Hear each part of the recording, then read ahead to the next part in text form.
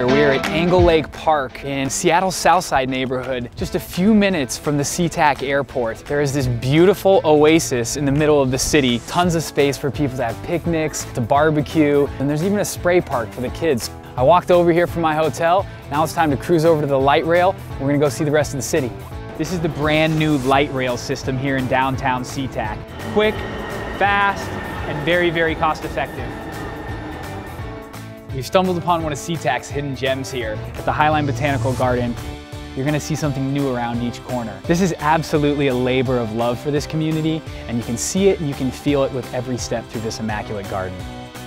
The Seattle Southside area is all about discovery, from lakes to these beautiful gardens and really easy transportation to get you anywhere you need to go in town. It's really endless in terms of what you can do here.